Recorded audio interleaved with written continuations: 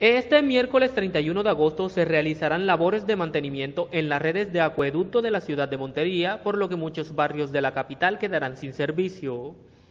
En este sentido, Veolia informó que debido a estos trabajos se interrumpirá el servicio de acueducto desde las 7 y 30 de la mañana hasta las horas del mediodía. La compañía sostuvo que pasado el mediodía se estará restableciendo el servicio de agua potable en los mencionados sectores de la margen izquierda de la ciudad.